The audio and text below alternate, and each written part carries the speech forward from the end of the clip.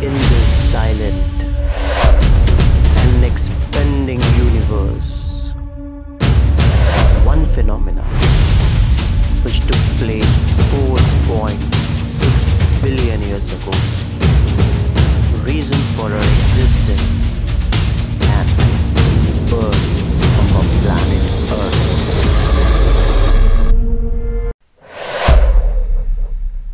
In this universe, there are millions of galaxies, millions of planets, and billions of stars. But where they come from, how they are formed.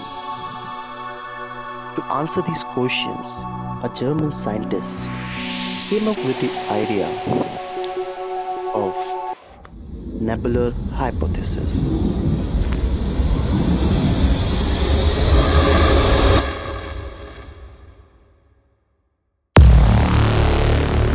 Hypothesis is the most widely accepted theory for the formation of a solar system.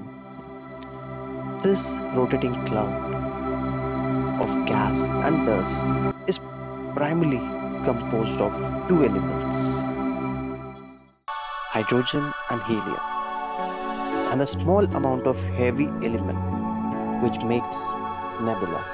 As time passes, this nebula, which is the mixture of gases and dust, collapsed under its own gravity and eventually flattened into a rotating disk.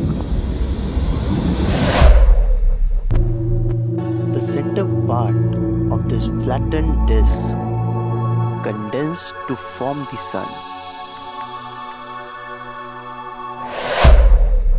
This flattened disk of dust and gases around this newly formed sun is called the protoplanetary disk, from which new planets will form. And this remaining material in the disk around the newly formed sun, which concentrated into a swirling lump. But how? There are two reasons for this. Due to the friction and collision, the material combine and lead to the planet formation. And this process is called accretion. But one question arises here. Why did nebula collapse? And which theory provide the context for nebular hypothesis? All this we will find out in the next part. That is Big Bang Theory.